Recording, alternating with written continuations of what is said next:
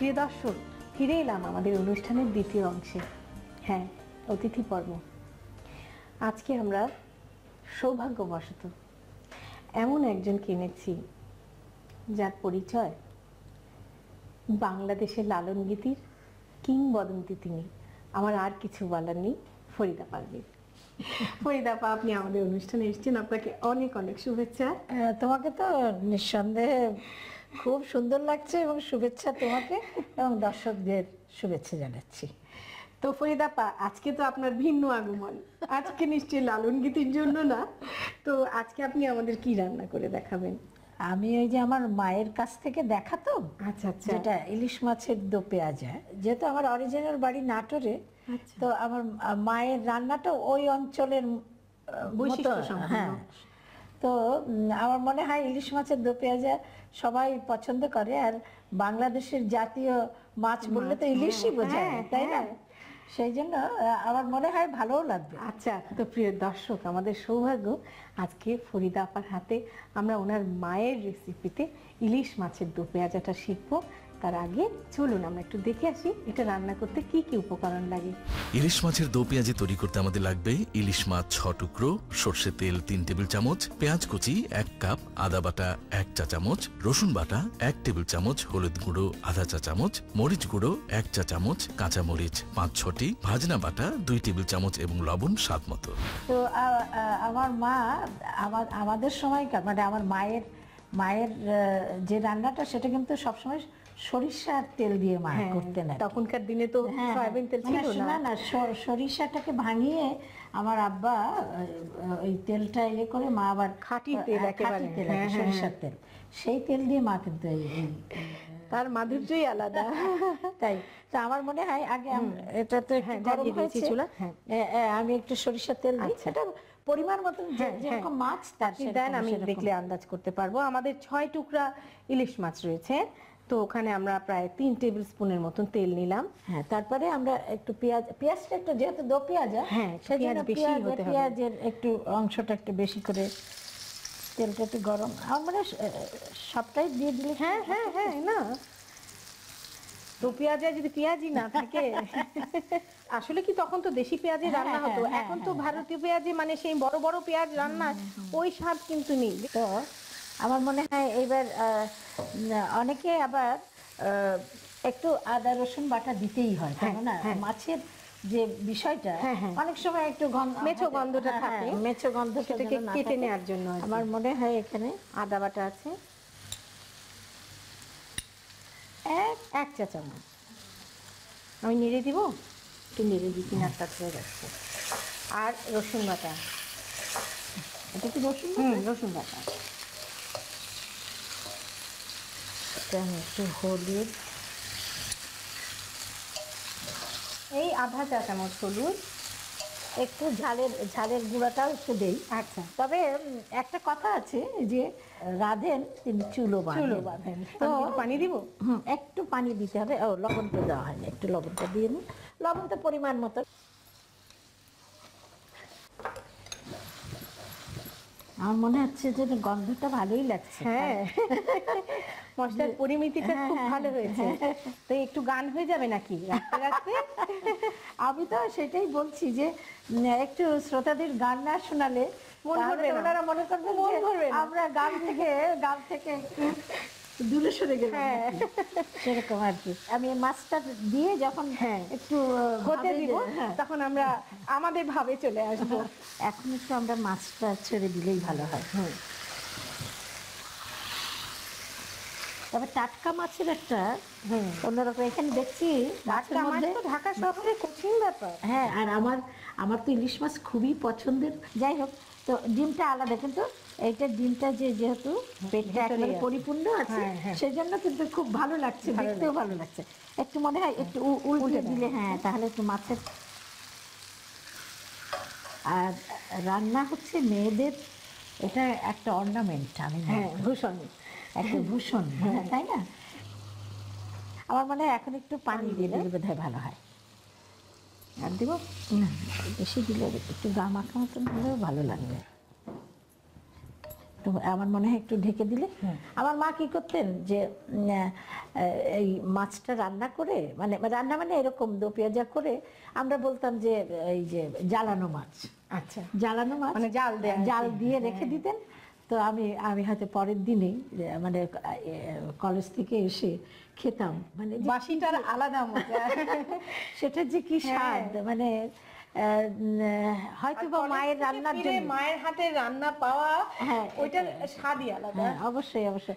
আমার মানে এখন একটু একটা গান শোনানো যায় হ্যাঁ হ্যাঁ এখন আমরা তাহলে আমাদের ফরিদাপাকে আজকে পেয়েছি সেই সার্থকতাটা আমরা পাবো।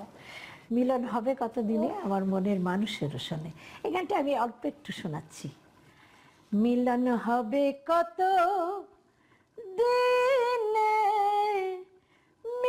হবে কত? দিনে আমার মনের মানুষের শনে আমার মনের মানুষের শনে জাতক প্রায় অহর চেয়ে আছে কালো শোষে হব বলে চরণ দাসী। হব বলে চরণ দাসী। ওটা হয় না কপাল গুনে ওটা হয় না কপাল গুনে আমার মনের মানুষের শনে আমার মনের মানুষের শনে আমার গায়ে সব রুম দাঁড়িয়ে গেছে। কি আর বলব. ছোটবেলা থেকে ছোটবেলা থেকে সেই জোয়ারি সেই সুর সেই গায়ের রোম দাঁড় করিয়ে দেওয়ার মতন কণ্ঠ সত্যি আমার আমরা সৌভাগ্যবান আপনাকে পেয়ে। না আমার মানে একটু লবণটা চেখে দেখলে ভালো হয়। আচ্ছা এখন কি আমরা হ্যাঁ। একটু দেখব? হ্যাঁ? একটা একটু একটু মনে হয় দেখলে সুন্দর গন্ধ হয়েছে। এইবার এইবার যেটা আমি জানি না অনেকে এটা করেন কিনা? আমার মা শেষের দিকে মাছটা যখন নামাবেন হ্যাঁ। তখন তখন একটু ওই যে বলেছিলাম যে একটু কাঁচামরিচ হ্যাঁ। কাঁচামরিচ। হ্যাঁ কাঁচামরিচটা এই এই আছেই হয়ে যাবে। যে যেরকম হ্যাঁ, হ্যাঁ। খান। এটা দিয়ে তারপরে কাঁচামরিচটা তো এই আছে আছে সিদ্ধ হয়ে যাবে। হ্যাঁ, আদা সিদ্ধ হয়ে যাবে এটা খাওয়া যাবে ভাত দিয়ে খাওয়া যাবে। আর হচ্ছে ওই ভাজনা যেটা হ্যাঁ। একটু একটু দিলে পারে গন্ধটাও গন্ধটাও ভালো হয়। হ্যাঁ। মানে পরিমাণ মতো না এটা যে খুব বেশি হ্যাঁ। বেশি দিলেও আবার একটু দিলে আবার একটু জিরার তেতো গন্ধ হয়ে যায়। হ্যাঁ হ্যাঁ সে দুই আড়াই চামচের হ্যাঁ। আমার মনে হয় এটা এখন হ্যাঁ একটু নেড়ে দিলে পারে। সাধারণ একটা সুন্দর গন্ধ আসছে। আমার মনে হয় আচ্ছা, ঢেকে হয়ে- হ্যাঁ, দিলে। ঢেকে দিলেই বাস এটা আমরা মনে হয় মিনিট পাঁচেক একটু ঢেকে রাখি হ্যাঁ? হ্যাঁ। তাহলে আমরা এখন এটাকে পাঁচ মিনিটের জন্য ঢেকে দিচ্ছি। আমরা ফিরে আসছি পাঁচ মিনিট পর।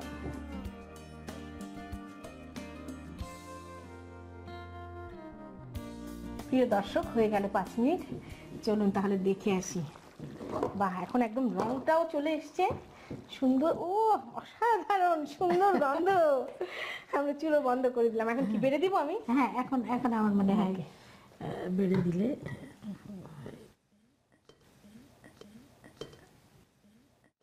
প্রিয় দর্শক তৈরি হয়ে গেল ইলিশের দো পেঁয়াজা আপনাদের সবার সুবিধার জন্য চলুন এটার প্রণালীটা আর একবার দেখে আসি। প্রথম একটি পাত্রে সর্ষের তেল পেঁয়াজ কুচি আদা বাটা রসুন বাটা হলুদ গুঁড়ো মরিচ গুঁড়ো লবণ ও পানি দিয়ে কষিয়ে নিন। তারপর এতে ইলিশ মাছ ও পানি দিয়ে পাত্রটি ঢেকে কিছুক্ষণ জাল দিন। এবার এর মধ্যে কাঁচামরিচ ও ভাজনা বাটা দিয়ে পাত্রটি আবারও ঢেকে পাঁচ মিনিট জাল দিন। সবশেষে পাত্রে তুলে পরিবেশন করুন মজাদার ইলিশ মাছের দোপেঁয়াজি হয়ে গেল আমাদের রান্না বাড়া এখন তো চেখে দেখার পালা। ফরিদাপা আমি তো রেজিস্ট করতে পারছি না। আপনি আসার আগে আমি একটা বেগুনের ডিশ করেছি। আচ্ছা, আচ্ছা, ওটার নাম আচ্ছা, হচ্ছে খাট্টা বেগুন হ্যাঁ। তো আগে আপনি একটু খেয়ে যাচাই করুন। আরে আমি আমারটা তো আমার যত খারাপই হোক আমার কাছে তো ভালোই লাগবে। কিন্তু আমার মনে হয় আলপনা খেয়ে দেখলে অর্ধভোজন হয়ে গেছে। আর বাকিটা শুধু খাওয়া বাকি। না না না আর আপনাকে একটু বেগুন উঠিয়ে দিই আমি। হ্যাঁ হ্যাঁ আমার হাতের রান্না। হ্যাঁ নিশ্চয়ই। আমি একটু আগে আগে বেগুনেরটাই খাই তোমারটাই খাই আগে। আমার মনে হয় আমি একটু হাত দিয়ে খাই। প্লিজ। প্রিয় দর্শক কি বলব?